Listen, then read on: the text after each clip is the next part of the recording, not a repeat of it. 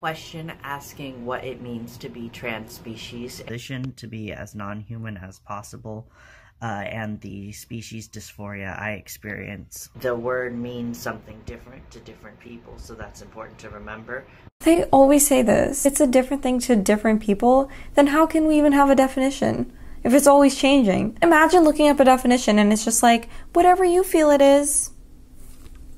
Basically, having a species in a way that's different than the typical. I've never seen an animal look like that ever in my life. I wonder what he, she, it, they, him, zer. What animal do they think this is? With these big, red, beady eyes and these huge, deformed ears, bigger than the face?